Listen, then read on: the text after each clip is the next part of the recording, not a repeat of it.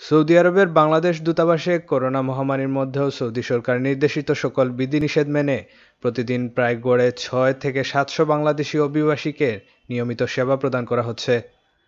Saudi আরবে নিযুক্ত বাংলাদেশের রাষ্ট্রদূত ডক্টর মোহাম্মদ জাভেদ পাটোয়ারি বিপিএম বার অভিবাসীদের সকল সেবা নিশ্চিত করার জন্য প্রয়োজনীয় ব্যবস্থা গ্রহণ করেছেন।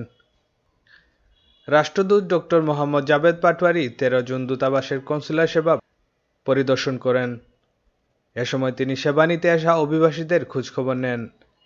সেবা গ্রহণ করতে আসা অভিবাসীদের দেহের তাপমাত্রা পরীক্ষা করে প্রবেশ টোকেন প্রদান, বসার জন্য চেয়ার, পানির ব্যবস্থা, ফ্যান ও প্রয়োজনীয় স্ন্যাক্স ক্রয়ের লক্ষ্যে একটি ভেন্ডিং মেশিন স্থাপন করা হয়েছে। মাস্ক পরিধান বাধ্যতামূলক করে নিরাপদ দূরত্ব বজায় রেখে সেবা প্রার্থীদের দূতাবাসের বঙ্গবন্ধু চত্বরে ছাউনির নিচে সারিবদ্ধভাবে বসিয়ে সেবা প্রদান করা হচ্ছে। যে সকল কনসুলার সেবা প্রদান করা হচ্ছে, সেগুলো হলো স্পেশাল এক্সিট প্রোগ্রামের আওতায় হুরুপ্রাপ্ত, ইকামাবিহীন ও এক্সিট ভিসায় মেয়াদ উত্তীর্ণ অভিবাসীদের আইনগত সহায়তা, প্রবাসী কল্যাণ কার্ডের নিবন্ধন, শ্রমিকদের মালিক পক্ষ থেকে বকেয়া বেতন আদায়, কর্মজীবন শেষে সার্ভিস বেনিফিট আদায় করার জন্য সকল সহযোগিতা প্রদান।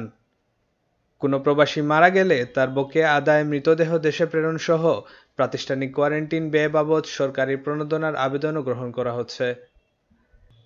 এবং আরেকটি উল্লেখযোগ্য কনসুলার সেবা প্রদান হচ্ছে দূতাবাসে আশ্রয় নিতে আসা নারী গৃহকর্মীদের সেফ হাউসে রেখে আইনি সহায়তা প্রদান।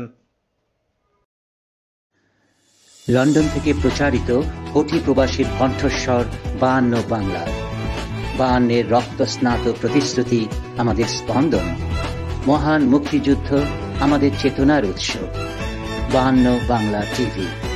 বাংলা সংযোগ দেশে দেশে। Connecting Bangla globally